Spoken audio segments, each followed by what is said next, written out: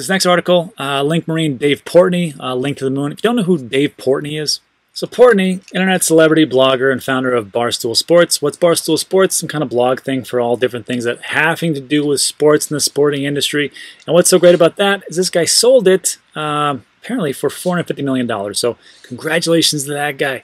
Not too shabby. So he was the one a couple years ago who, who was just, he, he did this viral tweet, uh, this video, where he just talked about Bitcoin. He's like, I don't understand, it doesn't make any sense, da da da. He's a very outspoken guy, pretty entertaining, good, you know, good for him. But uh, so over the last uh, weekend or so, this is what happened. Dave Portnoy, Portnoy, founder and president of Barstools, invested 50,000 in Chainlink on Thursday, August 13th. Seemed excited earlier today as Link broke through $19 to an all-time high.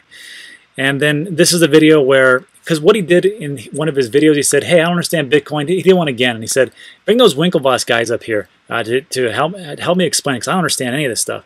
And Winklevoss twins actually went to his house and uh, you know said, "This is what it is." And of course, he recorded it and put it on social media because that's what the, that's what he does. Good for him.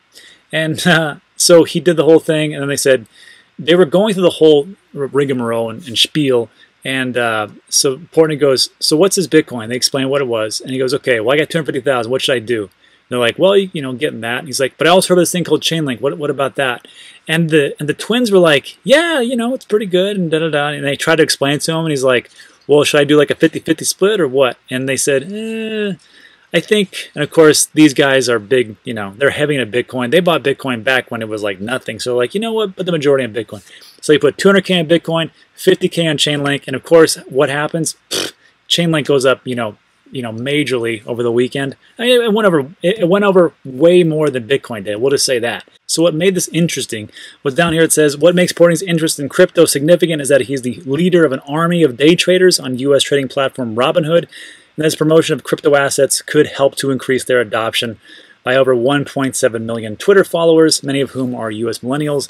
And he pretty much just put it out there on, on his Twitter feed. He said, link to the moon.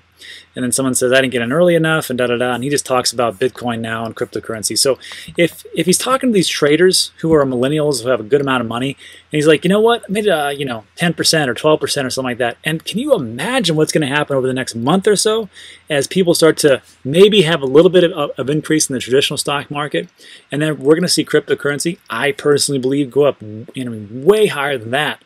If he starts tweeting these things out to all these people that he has on Twitter, and then that one person tells two people, and those two people tell 10 people, and so on and so forth, it's a big network effect. Now, it's not just one person that is going to be a catalyst, obviously, but it's all these different dominoes that start to fall, which will lead to another massive bull run. And I think this is just one more cog in the machine. And speaking of that, let me go on to my next piece, which talks about Warren Buffett. We had covered this yesterday about Buffett getting into gold, specifically a mining company of gold.